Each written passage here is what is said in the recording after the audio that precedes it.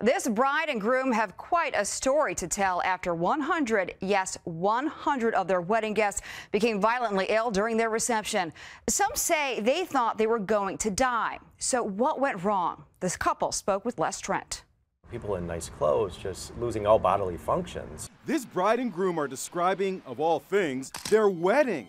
Just look at the photos. Wedding guests being loaded onto stretchers. Melissa and Jesse Abbott planned a picture perfect reception here at this rustic lodge in upstate New York. The meal was served at 3 p.m.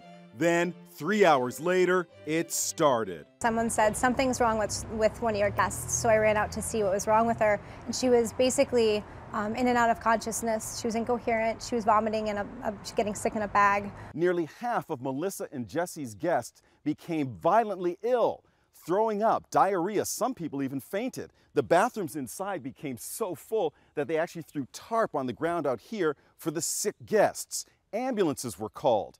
All of a sudden, this beautiful reception area turned into a triage area. I've never been so sick in my life. My son started throwing up.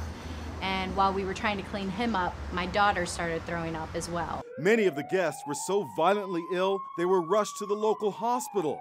Doctors found they were suffering from a serious case of food poisoning called Staphylococcus aureus, or staph.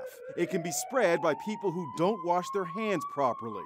The statistical analysis is pointing to the macaroni and cheese that everybody ate. That's right, they say the macaroni and cheese was to blame. Now Melissa is suing Holy Smoke Barbecue and Catering. She wants the company to pay her guests' medical bills. The caterer's lawyer told Inside Edition it is very unfortunate what happened at their wedding. We have fully cooperated with the health department and we were not found guilty of any wrongdoings. The caterer claims the food poisoning could have been caused by a cheese plate that the bride and groom brought to the reception. All the guests recovered, but this beautiful couple is still heartbroken over how their wedding reception turned into a disaster. It was like the apocalypse. The catering company is countersuing because the couple is refusing to pay for their services in full.